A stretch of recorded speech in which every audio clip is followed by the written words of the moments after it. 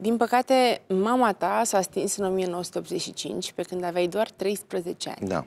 După moartea ei, tatăl tău te-a crescut singur, ajutat de menajere, însă în 86 situația din Liban devenise atât de complicată încât a decis să părăsești Beirutul pentru siguranța ta. Te citez. Toată lumea o luase razna în Liban. Creștinii se băteau între creștini, musulmanii de asemenea. Era o nebunie generală. Atunci, tata m-a întrebat, unde vrei să pleci? La sora mea, în America, în Franța, la vărul meu, sau vrei să pleci în România la rudele tale? Eu am ales Vălenii de Munte. Vreau să știu cât de greu ți-a fost să părăsești tatăl și dacă îți mai amintești motivele pentru care ai ales România în defavoarea Americii și a Franței. Urmează întrebarea roșie. Ai regretat vreodată că ai ales România? Nu. Uh, am ales-o de prima dată pentru că, îți repet, toată copilăria mea era aici, la Vălenii de Munte. Ce însemna vacanță de vară, vacanță de iarnă. În Franța mi-ar fi fost bine. Vărul lui tata era Pierre Sabach, fondatorul TFM, postul francez. Sora lui, profesoară la Harvard.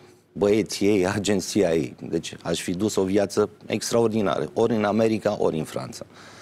Am ales Vălenii de Munte, pentru că da, aici am rădăcinile, prieteni, gârla, totul. Ce frumos, mulțumesc! Ai revenit din Liban în România și vorbim de perioada comunistă, Da. unde pâinea era pe cartelă, se stătea la cozi interminabile, se lua cu împrumut o cană de ulei sau de zahăr de la vecini. Te citez. Eram parcă un pic lovit de meteorit.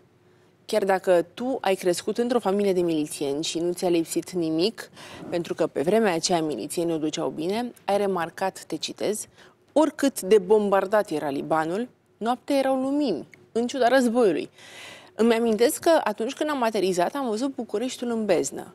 Ziceai că zona de război e în România, nu în Liban. Puține lumini, totul era rece, cu nuanțe de gri, cu nuanțe cenușii. Urmează întrebarea. Mai este România o țară cenușie? Nu. Nu mai e de mult. Din contră, acum parcă s-au inversat rolurile. Beirutul arată cenușiu și România înflorește.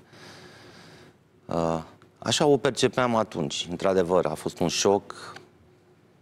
Era o schimbare totală pentru că veneam definitiv în România și trebuia să mă obișnuiesc, să mă adaptez. Să...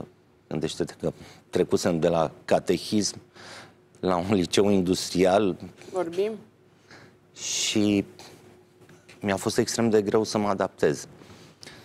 Da, dar uh, să revin la întrebarea, România nu mai arată de mult așa. Înflorește pe zi ce trece, vezi bine. E un mic Paris. Poți să spui că și București e un mic Paris în adevăratul sens al cuvântului. S-a schimbat total România față de cum o percepusem eu în 86. Mulțumesc. Te citez. De ziua ta vreau să-ți mulțumesc pentru fiecare moment minunat al copilăriei mele. Îți mulțumesc că ai știut să îmi imprimi adânc în suflet dragostea de care aveam nevoie atunci când mama a ales să plece printre îngeri.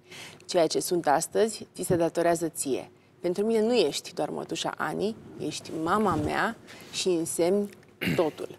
Așa ai vorbit despre mătușa ta de la Vălenii de Munte, care te-a crescut după moartea mamei și revenirea ta în țară. Te citesc din nou. Cea mai mare suferință a fost când mi-a murit mama. Aveam 13 ani. Atunci am plâns prima dată. Urmează întrebarea. Ce te face astăzi să plângi? Păi, uh, uite, vezi, deja am emoții. Uh, astăzi, mă rog, să știi că sunt un om care are sentimente, adică, în ciuda faptului că mă duc în zone de conflict, totuși sunt un om, raționez, sufăr, empatizez cu oamenii. Deci, sunt echilibrat psihic. Un om echilibrat și râde și plânge. Bine, nu în același timp.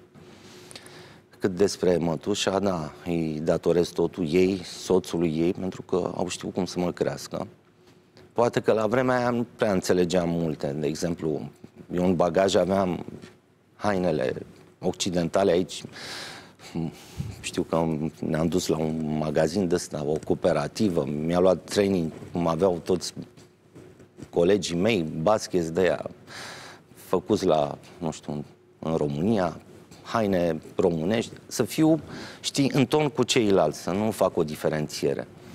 Și mi-a prins bine, știi, uite, treptat, treptat, uh, a, la fel, la școală nu aveam voie să mă duc cu pix de aur și cu un pix, cu un stilou din acela chinezesc. Aveai pix că, de aur? Da, aveam, îl primis în cadou. Dar mi-au, lucrurile astea mi-au prins bine în viață, să știi. Întrebarea mea, Cristi, a fost ce te face astăzi să plângi? Uh, astăzi, știu, probabil că dacă văd o, dacă văd oamenii că suferă în general, dacă văd un copil suferind, de exemplu cum, a, cum am văzut în Ucraina, acei copii refugiați care parcurgeau sute de kilometri pe jos timp. în frig. Da, te face să plângi. La, în acel moment fotografiam și plângeam. Știi, parcă mă revedeam pe mine, revedeam Libanul, revedeam Siria. Sigur că te fac să plângi. Mulțumesc. Crescând în familia de polițiști a mătușii Ani, ți-ai dorit și tu la terminarea liceului să susții examenul de admitere la Academia de Poliție din Ploiești, dar ai aflat că din cauza dublei cetățenii română-libaneze nu aveai un dosar bun. Te citez, era după Revoluție, iar legislația nu era aliniată cerințelor lumii moderne. Mi-au zis că nu se poate să mă înscriu la Academia de Poliție, dar să încerc peste alți 2-3 ani, după ce renunț la cetățenia libaneză. Dar cum ar fi fost să renunț la una dintre cetățenii? Și normal că nu am acceptat așa ceva. Vreau să știu cât ai suferit că nu ai putut să te faci polițist. Urmează întrebarea. Ai fi fost polițistul bun sau polițistul rău? Nu știu ce să spun. N-am suferit deloc. Din contră, am am considerat că trebuie să găsesc o meserie complementară celei de polițist și să știi că am început cariera abrupt. Am început-o chiar ca și corespondent de război. Primele Uite, am coresc... întrebat ceva, altceva. Ai fi fost polițistul bun sau polițistul păi asta rău? spun că nu știu dacă aș fi fost mm. polițist bun sau polițist rău. Aș fi fost un polițist probabil experimentat. Continuăm. Pentru că nu ai reușit să te înscrii la Academia de Poliție, te-ai îndreptat spre jurnalism din care ți-ai câștigat primii bani. Te citez. Am început să fac presă în provincie. Primul material a fost despre o rețea de evazioniști. Ai absolvit în 1996 Facultatea de Filozofie și Jurnalism a Universității Spiru Haret, iar în toți anii care au urmat te-ai folosit de meseria ta pentru a face dreptate și ai devenit anchetatorul din presă care demasca infractori ai spus așa. Sunt jurnalist de investigații și orice jurnalist care se ocupă de investigații nu are o viață ușoară. E o profesie care implică foarte multe riscuri. Polițistul este apărat de o vestă antiglonț, de o legitimație, de o lege. Noi nu suntem, din păcate, apărați de nimeni. Vreau să știu dacă ai văzut în jurnalism o modalitate de a satisface justițiarul din tine. Urmează întrebarea, ai vrut să fii primul jurnalist polițist din România? A, nu, nu, sub nicio formă. Faptul că am avut poliția în acțiune a însemnat că doream să fiu polițist. Vreau să spun că uh, cu ani în urmă mi s-a propus să intru de chiar de vreo trei ori. PSD, PNL, nu mai știu cine. Cam orice regim veni la putere mi-a propus să intru în poliție. Am refuzat. Pentru că consider eu că ceea ce fac uh, ca și jurnalist ajut mai mult oamenii prin prisma jurnalistului decât a polițistului. Uh, dar, uh, repet, n-am asimilat meseria, profesia de jurnalist cu cea de polițist, sub nicio formă. Aici, că arătam, că era un reality show prin care arătai, nu știu cum are loc un flagrant, o negociere, o tranzacție de droguri e cu totul altceva, că lucrai cu polițiști. Până la urmă, cred că a fost singura emisiune care a arătat cum acționează poliția în adevăratul sens al cuvântului. Nu știu, până la mine, nici în Occident n-am văzut o asemenea emisiune. Gândește-te că mergeam cu procurorii DICOT, cu cei de la crimă organizată, efectiv la un flagrant sau la o negociere sau la o tranzacție cu droguri. Și acționau live, să spun așa. Mergem cu o întrebare roșie. De multe ori te-ai aflat la un pas de moarte. În 2005 ai fost atacat cu un cuțit chiar în fața blocului tău. Te-a salvat atunci jacheta foarte groasă pe care o purtai, atacatorul nereușind să o străpungă cu cuțitul. În 2013, în timpul misiunii de salvare a muncitorilor români din Libia, întreaga echipă cu care erai a fost pe punctul de a fi răpită. În 2017, în Bihor, echipa voastră de filmare a fost înconjurată de 300 de romi înarmați cu topoare. Mașina a fost distrusă, un coleg a fost lovit la cap, agentul de pază care vă însoțea a fost împuns cu o țepușă, iar pe tine te-au lovit la picior atunci când încercai să protejezi cameramanul care era cel mai expus.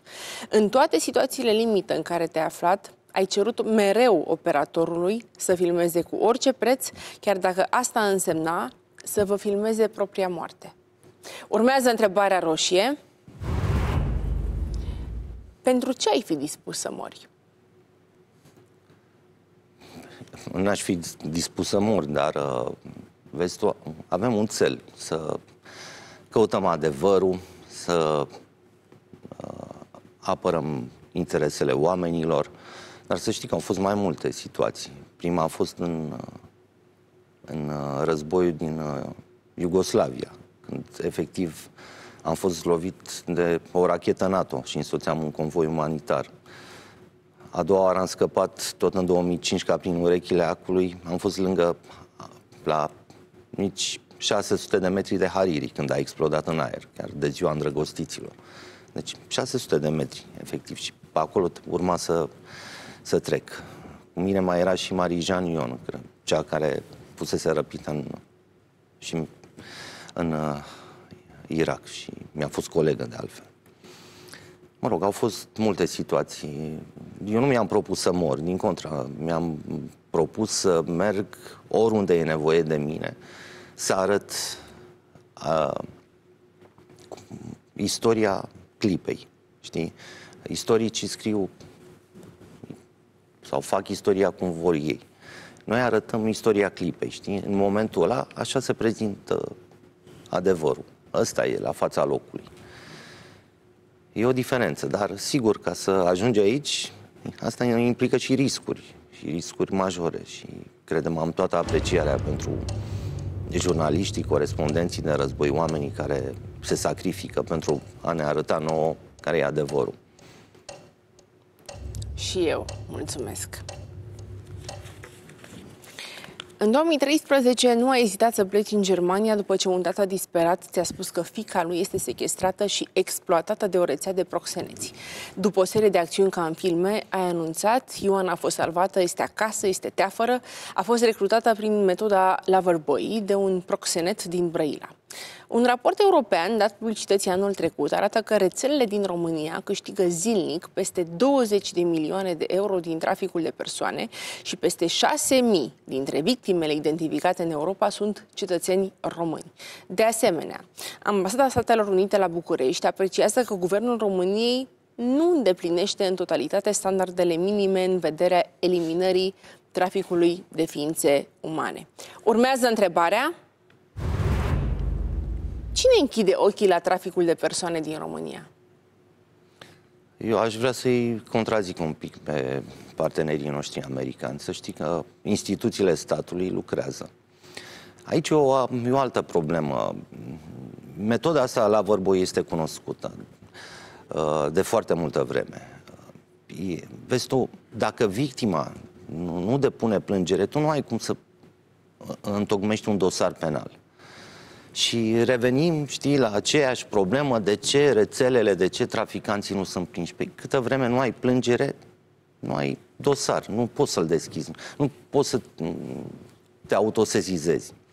Sigur uh, că câteodată una dintre victime reușește să fugă, să, să fie pusă sub protecție. Multe victime nici măcar nu știu că pot fi puse sub protecție. Am avut foarte multe cazuri. Sunt uh, victime care, în momentul de față, au identitatea schimbată, au o nouă viață. una dintre ele chiar a ajuns stewardeză și care m-a ajutat, a ajutat statul român a demonta vreo șase rețele internaționale de traficanți români. Deci acționau inclusiv în Canada, în Australia. Dar, repet, dacă victimele sau li s-ar spune, domnule, să știți că statul vă ocrotește, statul vă apără, vă poate schimba identitatea, uh, veți fi pusă sub protecție, vi se va găsi un loc de muncă, cred că lucrurile s-ar schimba, dar multe dintre ele săracele, de teamă, de frică. Gândește-te că aceste rețele sunt deosebit de violente și, o, și nu de puține ori unele dintre ele au fost lichidate. Cine ar trebui să facă educația aceasta despre care vorbeai? Îți Păi, mai dau uh, timp. Probabil Institutul de Prevenire a Criminalității și ar trebui ca zi de zi la televizor acești oameni să apară și să uh, și, cum să spun eu, să învețe oamenii ce să facă, știi, prin uh, promouri, prin uh, Campanii, efectiv, prin campanii, probabil. da. Da, campanii nu campanii de astea de prevenire nu te lăsa victimă, spune stop, n-ai făcut nimic. Nu, trebuie să arăți fix, uite, dacă ești în situația aia, noi te ajutăm cu asta, Îți cu mai asta dau și cu timp. asta. Da? Dacă ar ști victimele că într-adevăr sunt protejate, atunci lucrurile s-ar schimba. Dar dacă tu vii cu o campanie, spune nu traficului de ființe umane, n-ai rezolvat nimic. Ei zic că da, asta e o campanie reușită, extraordinară, uite, am împărțit pliante, dar tu nu rezolvi problema, pentru că nicio victimă o să vină să spună, a, uite, am citit pliantul, hai că vin și eu să denunț exploatatorii. Bine, mulțumesc. Mergem cu o întrebare roșie.